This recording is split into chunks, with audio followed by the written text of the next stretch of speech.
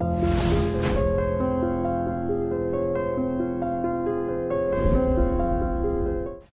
హయాంలో సంక్షేమ శాఖ గురించి సంక్షేమంలో సంక్షోభం అనే కథనాలు ఎన్నో పేపర్లలో వచ్చాయి. మరి ఎందుకు వచ్చాయి అలాంటి కథనాలు? ఎవిడెన్స్ చెప్పండి నాకు. ఎస్ఎఫ్ఐ వాళ్ళు కానీ ఏబీవీపీ వాళ్ళు కానీ ఉద్యోగుల విద్యార్థుల ధర్నాలు కానీ ఒక్కటైనా జరిగింది చెప్పండి. ఎందుకు చేయలేదు వాళ్ళు అంటే ఒకటే అన్నారు ఆ పిల్లలు ఏబీవీపీ వాళ్ళు కానీ ఎస్ఎఫ్ఐ వాళ్ళు కానీ అక్క నువ్వేందో మాకు తెలుసు. నువ్వు హాస్టల్లో చదువుకున్నావు. సోషల్ నువ్వు ఉస్మానియా హాస్టల్లో కూడా చూసావు. నువ్వు ఒక మంత్రిగా ఉన్నావు తప్ప ఇక్కడ ఆడ ఖాళీ ఖజానా ఏమీ లేదని తెలుసు. ఒక లక్ష రూపాయల లోన్ కూడా ఇవ్వలేని పరిస్థితులు ఖాళీ ఖజానా మీ చేతిలో పెట్టారు. ఎందుకు జన్నత్ హుసేన్ గారు ఇప్పుడు పాపం ఆయన హెల్త్ ప్రాబ్లం బాగుంది. ఆయన వెళ్ళి ఇంటర్వ్యూ చేయండి చెప్తాడు. ఎలాంటి minister? My minister good minister అని నేను కాంగ్రెస్లో చేరినప్పుడు రాజశేఖర్ రెడ్డికి నన్ను పరిచయం చేస్తున్న షీఈ్ మై డైనమిక్ మినిస్టర్ అని. జన్నత్ హుసేన్ గారు చెప్పడం ఎక్కడైనా చరిత్రలో జరిగిందా? ఆయన ఎవరన్నా మెచ్చుకున్న దాఖలాలు ఉన్నాయా? ఆయన చెప్పడం రాజశేఖర రెడ్డి గారు అనడం రాజశేఖర రెడ్డి గారు కూడా నేను అపోజిషన్ పార్టీలో మంత్రిగా ఆయన లీడర్గా ఉండేవారు. నేను మంత్రిగా ఉంటే ఫస్ట్ క్వశ్చన్ ఆయన వేసి గుడ్ మినిస్టర్ అని క్లాప్స్ కొట్టారు. అయితే ఇవన్నీ కూడా ఒక మహిళ ఎదుగుదలను పురుష సమాఖ్యం సమాజం కదండి. ఎవడైనా కూడా యాక్సెప్టెన్సీ ఉండదు. ఫస్ట్ ఇంట్లో నుంచి ఆ వివక్షత ఉంది. రాజకీయంలో వచ్చినాక అమ్మో ఈమెదరో మనకంటే మించిపోతుంది అని ఆ లెవెల్లో అనుకునే వాళ్ళు తొక్కేయడానికి ప్రయత్నం చేస్తారు. దానికి ఏంటంటే ఫ్యామిలీ సెంటిమెంట్స్ ఇస్తారు. లేదా క్యారెక్టర్ని పాడు చేసే మాటలు మాట్లాడతారు. అలా అనుకుంటే భయపడిస్తే పోతుంది అనుకున్నారు పుష్పలీల. నేను చిటిక ఇలా కొట్టాను. నాకు టికెట్ ఇవ్వకుండా చంద్రబాబు నాయుడు దగ్గరికి వెళ్ళి సార్ ఒక్క మహిళకు అవుట్రేట్గా మీరు టికెట్ ఇవ్వలేకపోతున్నారు.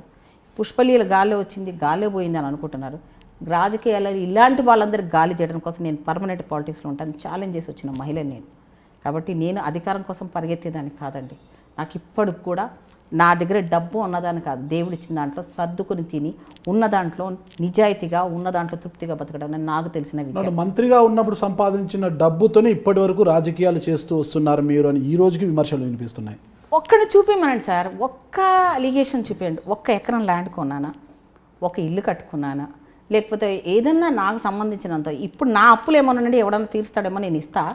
నా బ్యాంకు పెట్టుకున్న నా సంపాదించిన నా సొంతంగా మా వాళ్ళు పెట్టినవి అవి బ్యాంకులలో పెట్టుకుంటూ ఏదన్నా చేసుకొని ఇప్పటివరకు రాజకీయాల్లో తిరుగుతున్నాను. ఏ మొగోడు మొగోడు కూడా తిరగడేమో.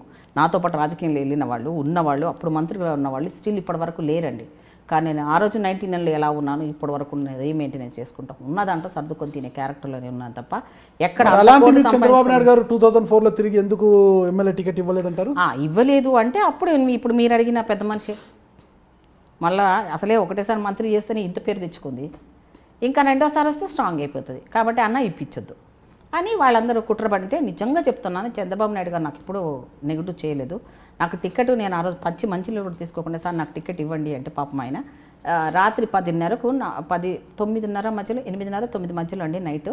నాది డిక్లేర్ చేశారు సిద్దిపేట ఎంపీగా. ఎవరు? చంద్రబాబు నాయుడు గారు. ఓకే మీరు స్క్రోలింగ్ ఆ రోజులలో పేపర్లో టీవీలో దొరికితే చూడండి. ఎంపీగా అనౌన్స్ చేసేసారు నాది. మళ్ళీ ఏమైందో దుష్ట శక్తులు పన్నెండు తర్వాత ఎంటర్ అయిపోయారు. కదా నా పేరు కట్ అయిపోయింది. అప్పటికి కూడా నేను నేను ఎంత నిజాయితీ చూడండి నాకు టికెట్ ఇవ్వకపోయినా తెలుగుదేశం పార్టీకి క్యాంపెయిన్ చేశాను రవికి ఇచ్చాడు. ఇప్పుడు డిక్కీలో పనిచేస్తున్న రవి గారికి ఇస్తే నరా రవికుమార్కి ఇస్తే నేను క్యాంపెయిన్ చేశాను ఆయనకి. ఎందుకు? నిజాయితీ కాలేదన్న కాబట్టి. పార్టీ నాకు ఎప్పుడు ఎవరిని కాదని నాకు టికెట్ ఇచ్చింది. ఇప్పుడు మళ్ళీ పార్టీకి నేను ఆ రకంగా రుణం ఉన్నట్టు ఉంటుంది ఎందుకులే అని నేను క్యాంపెయిన్ చేయడం కూడా జరిగింది. కాబట్టి నాకు టికెట్ ఇవ్వని వాళ్ళు వాళ్ళ కర్మ సార్. నిజంగా చెప్తున్నా ఇప్పుడు టూ కూడా థౌజండ్ ఫోర్లో ఊరికే క్యాంపెయినింగ్ చేసి ఇంటికి పరిమితం అయిపోయారు పరిమితం అవ్వలే. నేను ఇప్పుడు ఇంటికి ఊరికనే ఉండను సార్ నేను. ఎప్పుడు నేను నేను ఎవరికైనా పనికి వస్తాను నా తెలివి పనికి వస్తుంది నేను ఎవరికైనా హెల్ప్ చేస్తాను నేను ప్రజల్లో తిరుగుతూనే ఉంటాను. ప్రజలకు హెల్ప్ చేసే లెవెల్ ఏదో మంచి వచ్చాడో వెళ్ళిన కనపడదక్కడనే హెల్ప్ చేస్తూ వాళ్ళకి సలహాలు ఇస్తూ ఎవరికైనా రోడ్డు మీద ఏదైనా జరిగినా వాళ్ళ హాస్పిటల్లో చేర్పించడం కానివ్వండి ఎవరైనా గొడవలు పడుతున్న అమ్మాయిలకి ఏదైనా జరిగిన వెంటనే వెళ్ళిపోవడాలు కానివ్వండి ఇలాంటివన్నీ నేను నేనుగా వెళ్ళి చేస్తూనే ఉంటాను. అట్లా నేను ఆ రోజు నుంచి వాలంటరీ సర్వీసెస్ నాది ఎలా ఉందో